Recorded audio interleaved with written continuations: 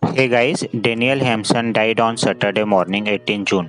X Factor star Tom Mann fiancé Danielle Hampson passed away on the wedding day. Mann, who is singer, announced the Danielle Hampson's death news on Instagram. He and his fiance Danielle Hampson, mother to their 8-month-old son Bowie, were due to marry on Saturday. Danielle Hampson was PR executive. His 34-year-old partner's cause of death has not been revealed, but in some reports showing Danielle Hampson died in accident, but it is not verified. We will update on this. Rest in peace Danielle Hampson. Thanks for watching this video.